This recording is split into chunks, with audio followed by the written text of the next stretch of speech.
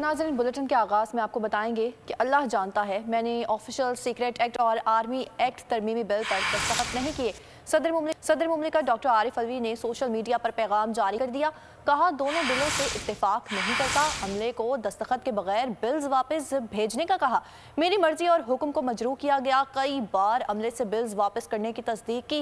Bill से मुतासर होने वालों से सबसे माफ़ी मांगूँगा।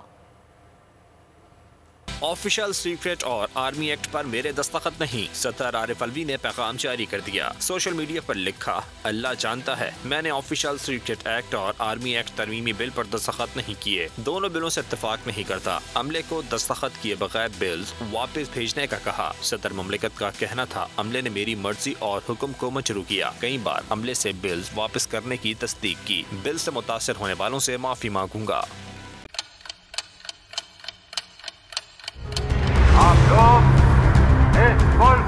पाकिस्तान में आज़ाद है। सहाफती उसूलों पर कारबंद बोल न्यूज़ ने रखी रिवायत बरकरार। बोल न्यूज़ की जानब से देखने वालों को योम आज़ादी की बेहद मुबारकबाद। मुल्क भर से जश्न आज़ादी की तकरीबात बोल ने दिखाई अपनी स्क्रीन पर। पाकिस्तान के छिहत्तर में योम आज़ादी का जश्न बोल ने सुनाई पाकिस्तान जिंदाबाद के नारों की गूंज।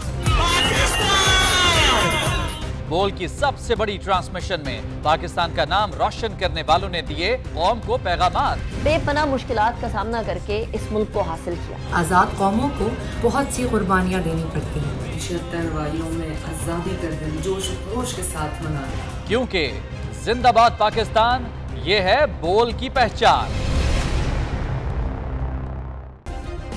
सब्सक्राइब करें और बेल दबाएँ ताकि कोई खबर रह न जाए।